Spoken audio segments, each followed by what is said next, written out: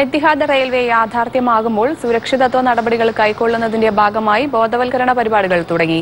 Train അടുത്തുവരികയാണ് നിയമം അനുസരിക്കുക എന്ന സന്ദേശം ഉയർത്തിപ്പിടിച്ചാണ് ബോധവൽക്കരണം തുടങ്ങിയത്.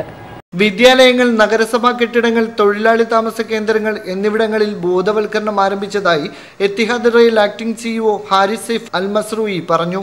ട്രെയിൻ കടന്നു പോകുന്ന സ്ഥലങ്ങളിൽ പ്രത്യേകം തയ്യാറാക്കിയ കമ്പിവേലികൾ സ്ഥാപിച്ചിട്ടുണ്ട്. റെയിൽ പാലം മുറിച്ചു കിടക്കാൻ ഇരുപതോളം നടപ്പാലങ്ങളും നിരവധി തുരങ്കപാലങ്ങളും പതിനെട്ട് അണ്ടർപാസുകളും പണിയുന്നുണ്ട്. അനുവദിക്കപ്പെട്ട സ്ഥലങ്ങളിലൂടെ അല്ലാതെ പാത മുറിച്ചു കടന്നാൽ കഠിനമായ ശിക്ഷ ലഭിക്കുമെന്നും അധികൃതർ പറഞ്ഞു. ഷഹ്ബാൻ മുതൽ റിവൈസ് വരെ നൂറ്റി എൺപത് കിലോമീറ്റർ പാതയാണ് ഇപ്പോൾ പൂർത്തിയായത്. ഇവിടെ പരിശോധനാ ഓട്ടം തുടങ്ങിയിട്ടുണ്ട്.